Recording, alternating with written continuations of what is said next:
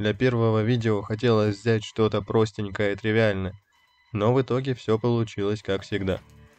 В этом видео я расскажу про процесс создания самобалансирующего робота с управлением через веб-интерфейс прямо из браузера смартфона, а также про косяки, с которыми пришлось столкнуться. Трунь, трунь, трунь, трунь, трунь, трунь, трунь.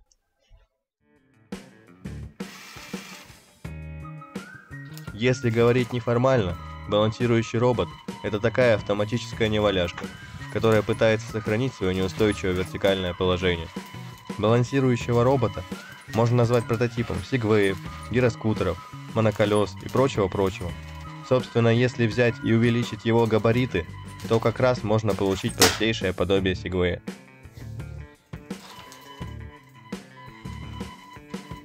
Самобалансировка робота схожа с задачей стабилизации обратного маятника.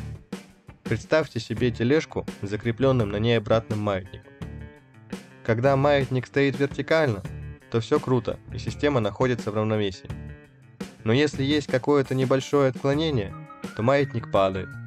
Однако, если мы пнем тележку в сторону падения маятника, тогда система снова придет в равновесие. Процесс чем-то похож на балансировку карандаша или палки на пальце. Все то же самое применимо и к балансирующему роботу. Тут уже можно заметить одну хитрость. Чтобы робот не только балансировал, но и мог туда-сюда кататься, нужно немного смещать угол стабилизации в сторону, куда нужно ехать. Тогда робот будет постоянно падать, но система балансировки не даст ему это сделать. Она будет постоянно двигать робота. Забавы ради, я же захотел добавить возможности робота еще кучу всего и впихнуть туда максимум, на что способно выбранное железо. Поэтому, помимо балансировки, он должен уметь ездить как сумасшедший, поворачивать и отклоняться от препятствий за счет датчиков расстояния. При этом все это непотребство должно управляться через точку доступа Wi-Fi, раздаваемым самим роботом, который выступает в том числе в качестве веб-сервера, выдавая страницу управления в стандартный браузер. А, еще я решил это делать на платформе, который раньше вообще не притрагивался, что же интересно могло пойти не так? Начал начинать я, естественно, с моделирования корпуса робота в CAD, ведь эстетика – один из основных критериев проектирования. Хотя если вы топите только за функционал, то такого же робота можно собрать из полежка, мебельных уголков и синей изоленты. Сборка корпуса робота до невозможности проста и сделана так, чтобы после того, как он надоест, можно было его разобрать и сложить в шкаф. Если учесть, что это мой первый полноценно спроектированный робот CAD, то получилось довольно-таки неплохо.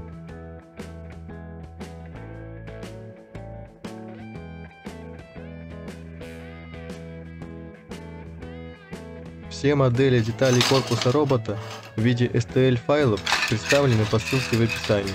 И да, забыл сказать, что для создания робота вам нужен будет 3D принтер. Хотя если его нет, вы знаете, что делать. Теперь к электронике. Питание робота осуществляется двумя банками 18650, помещаемыми в батарейный отсек. В качестве драйвера двигателей использовался самый популярный модуль на базе L298N. Питание подводится к выводам плюс 12 вольт и ГНД. К выходам драйвера подключаются естественно моторы. На самом модуле установлен стабилизатор напряжения на 5 вольт для питания логики модуля. Это же напряжение можно использовать и для питания внешних устройств, если установлена вот эта перемычка. Поэтому берем эти 5 вольт и тянем до выхода V-IN наших мозгов, в качестве которых была выбрана нод МЦУ с ESP8266 на борту. На нод МЦУ установлен еще один регулятор напряжения, понижающий 5 вольт до рабочих 3,3. Соответственно, вся логика нод МЦУ работает на 3,3 вольтах. А дальше, собственно, начались косяки – я никогда не работал с нодом ЦУ из ESP8266. Поэтому в процессе планирования и закупки я просто открыл распиновку ноды МЦУ и подумал, как много GPU, заказываю, мне собственно хватит. Ну и также набрал еще периферии. MPU 6050 с трехосевым акселерометром и гироскопом, дисплей для вывода информации и два ультразвуковых датчика расстояния для детектирования препятствий. А проблемы вылезли, когда я это попытался все подключить. Если порыться в документации на МЦУ и прочем, то можно увидеть, что половину GPU использовать нельзя, так как они зарезервированы под работу с флеш-памятью. А для остальных GPU либо необходим определенный уровень при загрузке платы, либо они дергаются во время загрузки или прошивки. Из более-менее стабильных остаются только два вывода. Их я сразу использовал для A2C и подключил MPU 6050 и дисплей, а дальше стал думать. Датчики расстояния имеют на модуле подтяжку к питанию, поэтому для них не каждый вывод подойдет. К тому же оказалось, что они отказываются работать от напряжения питания в 3,3 вольта, поэтому подводим к ним 5 вольт питания. Датчик способен воспринимать 3,3 вольта как высокий логический уровень, поэтому к входу трик просто тянем провод от нод МЦУ. Однако на выходе эхо он будет выдавать 5-вольтовую логику, что сожгет наши мозги.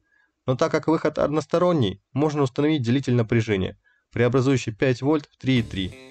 То же самое проделаем и со вторым модулем, Остается подключить только логику драйвера. А еще я вспомнил, что 18650 нельзя переразряжать. Поэтому необходим контроль заряда. Введем вывод от питания через делитель напряжения к аналоговому выводу А0. Таким образом, программно мы сможем считывать напряжение и отключать часть периферии робота.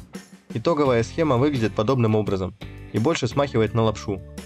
Также пришлось отказаться от использования UART. Через него можно только прошивать нод МЦУ, но его нельзя использовать в процессе работы. Подключать всю эту требуху решил через макетную плату. ESP при этом крепится к ней через колодки. Лучше было бы, конечно, заказать плату, но нужно было здесь и сейчас, поэтому так. Паяю я все это дело при помощи флюса на водной основе и куска припоя. Присоединять отдельные провода решил через клемники, которые отрыл в своем бардаке. Рядом с клемниками сразу впаиваю резисторный делитель напряжения для аналогового хода и накидываю соплю припоя между клебником и входом делителя. Дополнительно ложу отверстия макетки и веду по ним дорожки припоя. Оставшиеся ножки резисторов использую, чтобы упростить навешивание соплей. В том же духе продолжаю проводить дорожки припоя, пока не получится соединить все контакты по схеме, представленной ранее.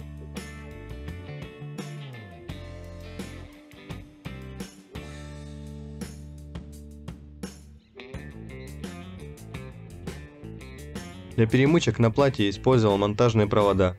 Также немного помыл плату. Теперь можно просто вставить ESP в макетку и подключить все провода через клемники. Можно приступить к сборке платформы. Сначала припаяем моторы.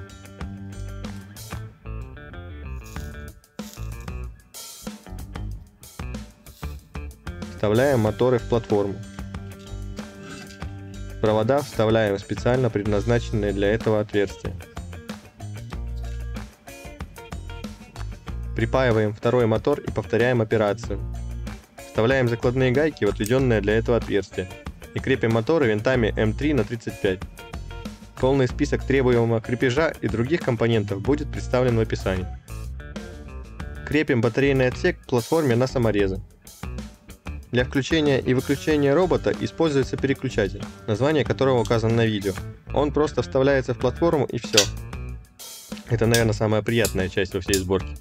При креплении драйвера мотора вылез еще один косяк, который я не учел. Радиатор драйвера находится очень близко к платформе. Чтобы при нагреве пластик не поплыл, можно ставить небольшую картонку между радиатором и платформой. Хотя я из будущего скажу, что из-за малой мощности моторов радиатор вообще не греется. Драйвер тоже прикручивается на саморезы к платформе. Видимо, из-за большой скорости печати у меня плохо пропечатались стойки для макетки, и при вкручивании их оторвало. Вместо них я использовал напечатанные проставки, а в модели для печати увеличил размеры стоек. Плата также просто вкручивается в платформу.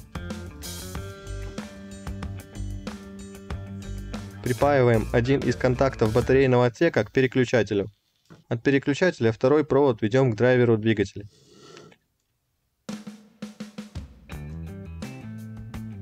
Фиксировать провода в клемниках буду при помощи кабель-наконечников. Этот набор я заказывал с Алиэкспресса. Опрессовывать кабель наконечника буду обжимочным инструментом. Процесс довольно прост. Зачищаем провода, обжимаем, обрезаем лишнее. Небольшие кабель-наконечники также неплохо обжимаются плоскогубцами. Если нет кабель-наконечников, можно просто залудить провода. Кабель-наконечники просто вставляются в клеммники и фиксируются.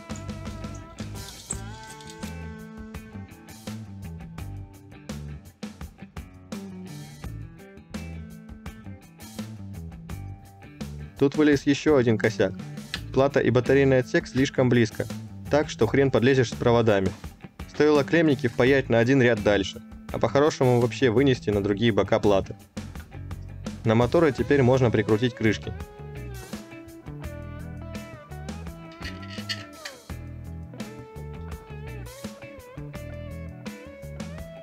Теперь можно вкрутить и верхнюю крышку-распорку. Я закладывал длинные саморезы, чтобы увеличить жесткость пластиковых стоек, но они оказались очень крепкими, поэтому можно использовать саморезы и покороче. Можно вкрутить боковые крышки, чтобы внутренности не мозолили глаза.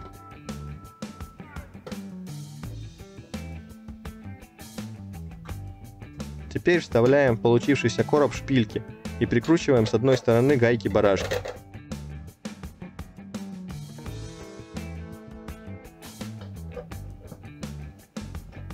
Дальше насаживаем на шпильки проставки и надеваем дополнительные платформы распорки.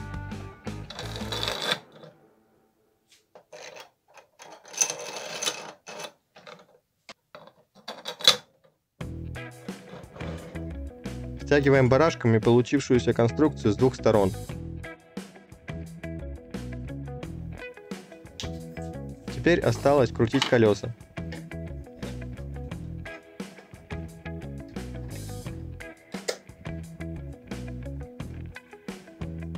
И первоначальный облик платформы готов.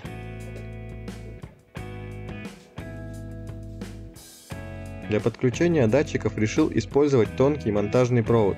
Его много и не жалко, да и нагрузок там больших не будет. Инерциальный модуль просто вкручивается в стойку двумя саморезами.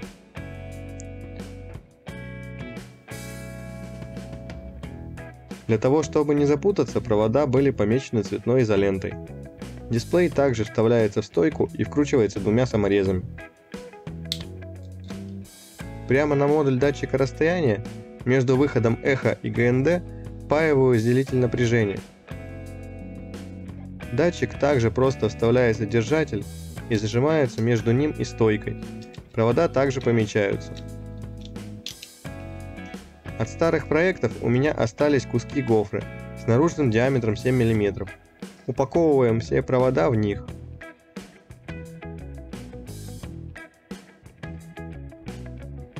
Вкручиваем стойку дисплея в платформу с закладными гайками.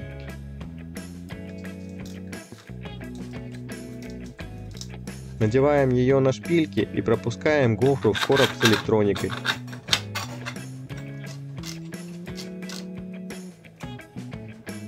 То же самое проделываем и со стойкой датчиков расстояния.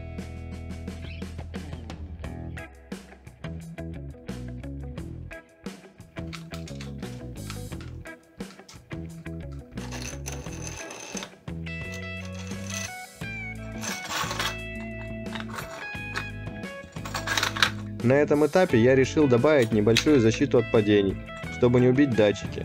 И на самом деле не зря. Теперь осталось подключить остальную электронику согласно схеме. Пошивать все это буду естественно через Arduino IDE. Сам скетч можно найти на гитхабе по ссылке в описании. Там он лежит вместе с заголовочным файлом, который нужно поместить рядом. Также в репозитории есть небольшое описание проекта. Для загрузки скетча необходимо установить библиотеки, которые приведены в описании. Для этого просто переходим по ссылкам, скачиваем zip-архивы и добавляем их среди Arduino.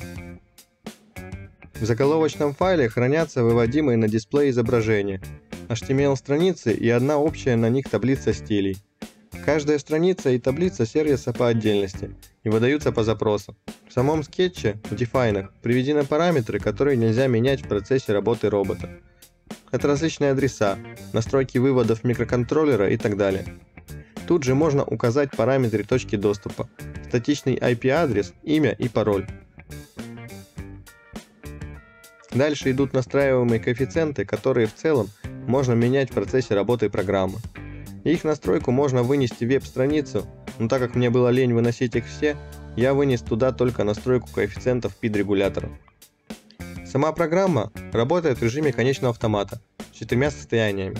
Режим инициализации запускается сразу после включения робота и сопровождается выводом на дисплей процесса загрузки. После успешной инициализации робот переходит в нормальный режим работы. В режим ошибки программа сваливается и зависает, если произошла ошибка при инициализации какой-то периферии.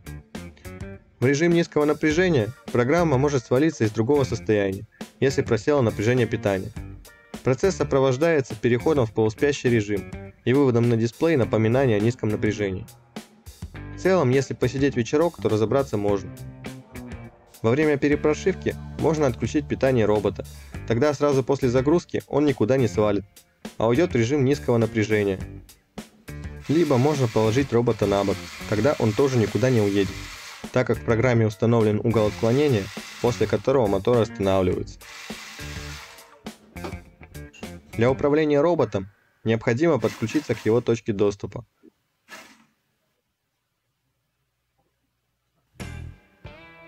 После этого вводим в браузере его IP-адрес.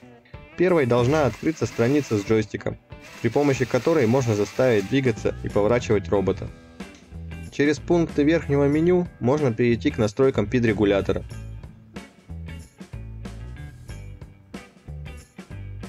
Если после настройки регулятора нажать кнопку Save, то они сохранятся в EEPROM и будут загружаться при следующих загрузках робота.